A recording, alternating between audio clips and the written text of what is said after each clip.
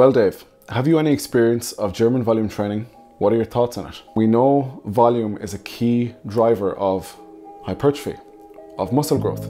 So if you're doing 10 sets of something and 10 reps, you know that's almost like your insurance policy, like, yeah, I'm doing enough to grow muscle, which is true. So volume we use it in the pro list, but in the con list, volume can also be used because there is a point of diminishing returns within a training session. And there was a study, now this is just one study, so you take a study with a pinch of salt.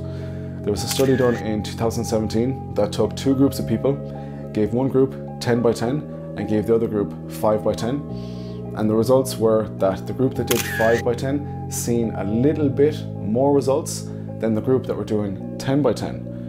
So that tells you that the group that were doing 10 by 10, they were literally doing double the work for the same result.